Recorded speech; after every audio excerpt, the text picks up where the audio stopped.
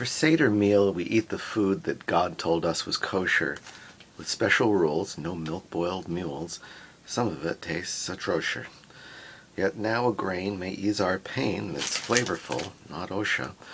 We need a rule from Rabbi Shmuel to know if it is kosher. But Rabbi Shmuel says yes it is, while Rabbi Yule says no sir. So now we're sending Yule and Shmuel to harvest in Bolivia.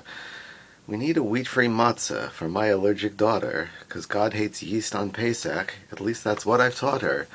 But quinoa matzah from Whole Foods? Nothing could be gosher if Yule and Shmuel return to say that quinoa isn't kosher.